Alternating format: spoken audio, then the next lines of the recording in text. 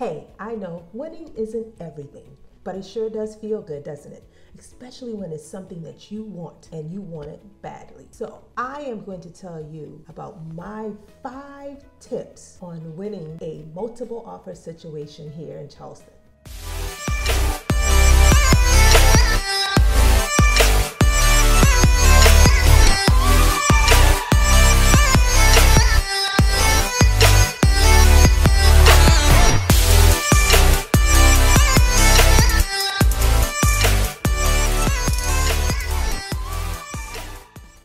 Number five, let me tell you decide whether or not the property is worth you fighting for. If it's multiple offers, that means it's two or more, and that means you're competing against someone else that wants the property as well. So, if you're not that person that want to compete or fight for a property that you love or that feel of accomplishment comes across you because you've actually won on the offer of a property that you're interested in in, then hey, multiple offers may not be for you. It's definitely a challenge when you are dealing with multiple offers on a property that you're interested in. So you got to make sure that you are up for the fight because sometimes there is a battle. So I would say to make sure you are mentally and physically ready to compete with the other offers in a multiple offer situation. Number four, I would say make sure that you and your buyer's agent communicate with the seller's agent. Now, I'm not gonna say not so much you,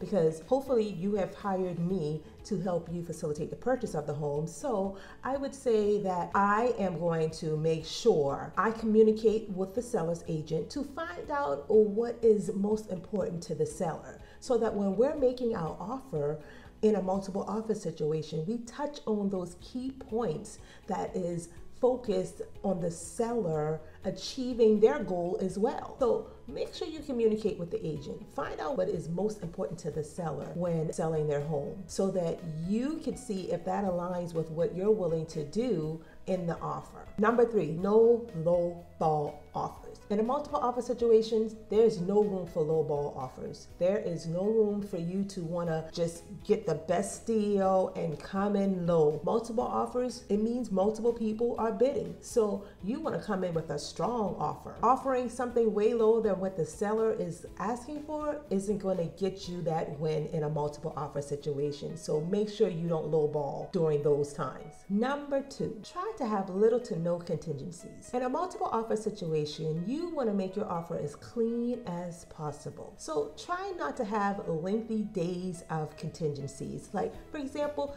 definitely have a home inspection done. You want to do that for sure. But if you can, get it down to five days and not 10, or maybe six or seven days, but don't do 10 days. Because think about it, that owner is actually going to be taking their house off the market during this time. And if it's for 10 days, that's 10 days of no activity on the property, no marketing on the property, because it's allowing you time to make all of the inspections that you want. So I would shorten it down to maybe five days, six days if possible. These days, it's very busy, so you may not be able to get that, but think about the consideration of the seller when making your offer when it comes to contingencies. If you're up against two, three, four offers, you want to make sure that your contingencies is short or limited as you can. So before I get to number one, please, if you have any suggestions on some of the other things you think would help win a multiple offer situation, send me a message, comment. I'd love to hear what you have experienced in a multiple offer situation. Don't forget, like, subscribe, and also hit that notification bell so that when I put out a video like this every month, you are notified so you don't miss a thing. Number one, make sure you have your approval in hand. Now, I'm not just talking about a pre qualification, I'm talking about a pre approval. There is a difference. So you make sure that you have already reached out to your lender and have gotten a pre approval.